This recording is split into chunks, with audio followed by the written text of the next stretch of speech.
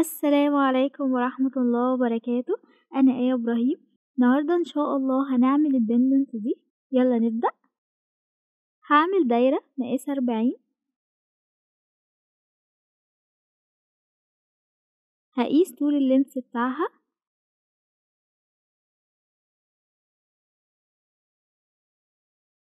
ونرسم خط بنفس الطول.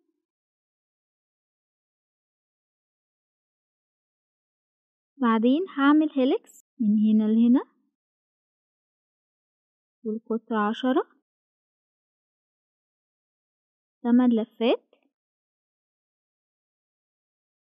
بعدين هاخد copy على بعد ستة ونعمل loft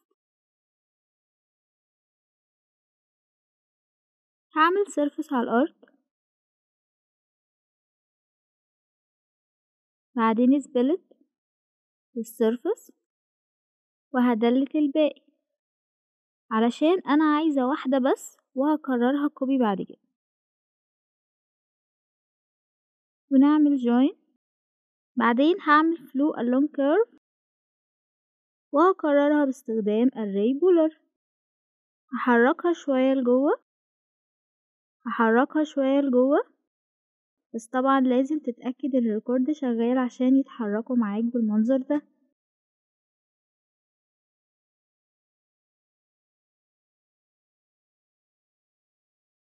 بعدين هعمل كورة تمنتاشر. هلف الكورة عشان الخط ده يبقى تحت. ما يضايقنيش وأنا برص الأحجار. ونعمل scale ونزيد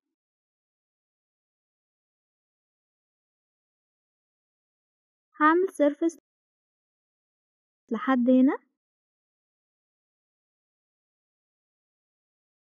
بعدين trim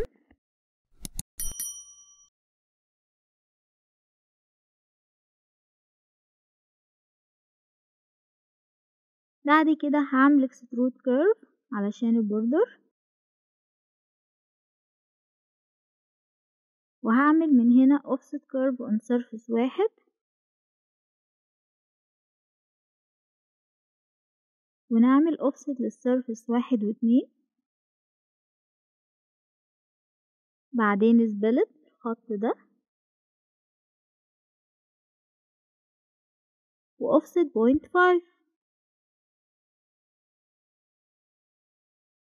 هعمل extract surface copy no. ونعمل join. هستخدم بافي أوتوماتيك. هحط ستونة هنا في السنتر بعدين هستخدم extract gem curve ومنها هعمل offset خطوط اللي هرص عليها بقية الأحجار. وهعمل مثلا offset curve on surface point two دي المسافة بين الصفوف. و offset تاني point six ده أول صف معايا. بعدين offset مرة أخيرة واحد وأربعة بعدد كبير وده خطوط الصفوف كلها. بعدين هستخدم gems by curve ونحدد المقاس والعدد.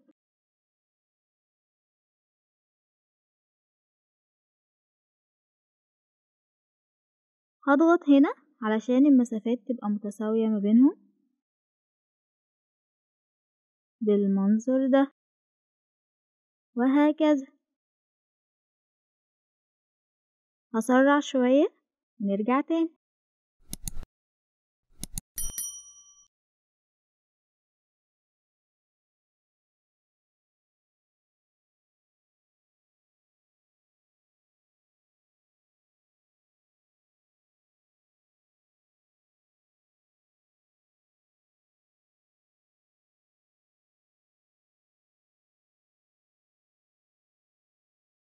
نيجي بقى نرص ال prong ات هستخدم dynamic prong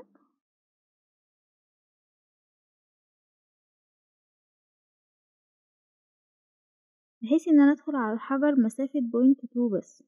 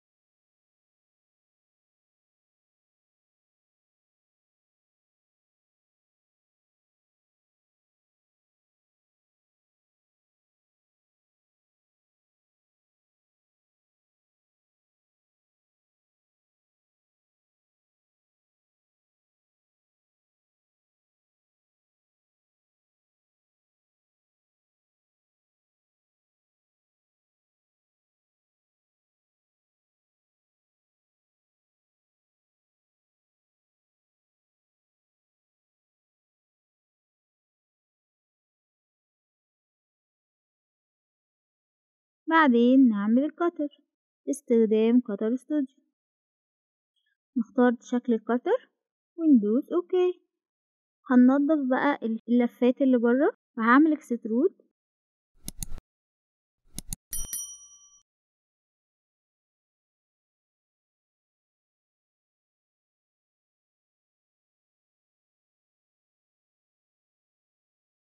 بعدين offset surface.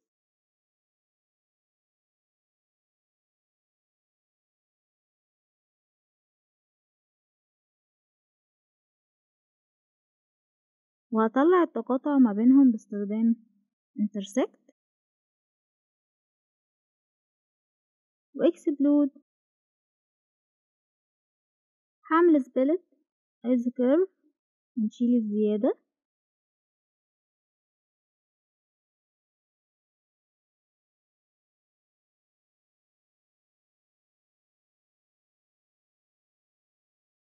وهعمل سبلت للسيرفس تاني بس باستخدام الخط ده. بعدين نرص الستون هنا. هعمل offset curve on surface.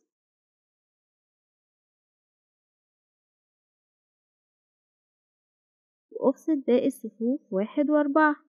هرصهم وأرجع تاني. هرص البرونجات باستخدام دايناميك برونج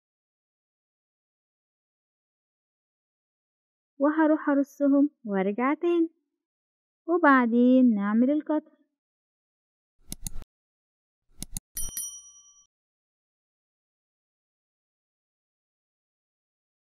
بعدين هنا في جزء زيادة أنا نسيت أشيله. هعمل offset surface solid no. بعدين untrim.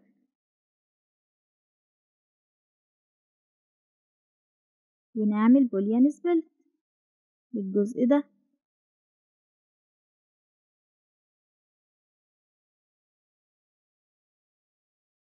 هعمل offset مرة كمان بس solid. بس كده.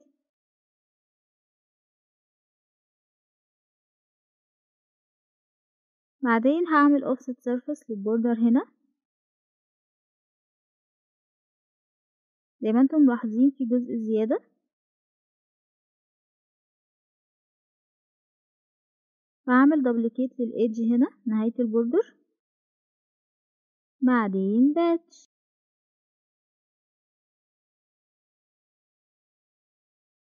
حركه كده شوية. ونعمل boolean split ه delete بقية اللفات.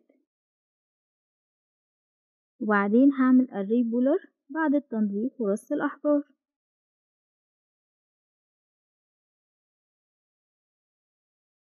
هعمل hide لكله. وآخر قطعة معانا هستخدم cluster بعدين اختار الشكل ده.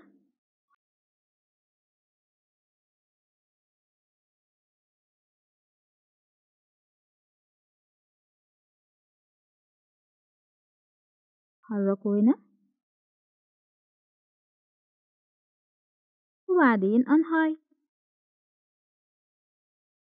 وعلشان أربطهم ببعض هعمل دايرة. بعدين بايت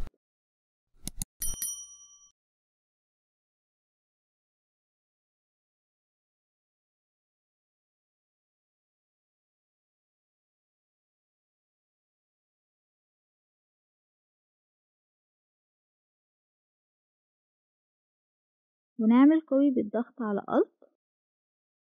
بعدين روتيت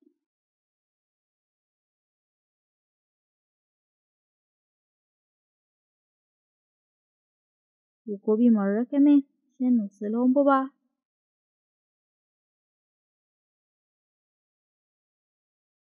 وآخر حاجة نعمل boolean difference وأ delete بقية الفيونكات. boolean difference